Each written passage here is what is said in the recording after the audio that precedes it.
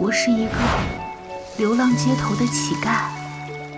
有一天，我被一个王爷捡回家，然后成了王妃。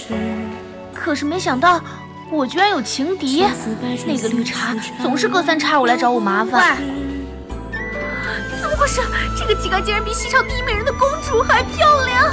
嗯，呃，听说表哥从外面大街上捡回来一个乞丐，就是你吗？第一，我不是被捡回来的，我是被夫君牵着手带回家的。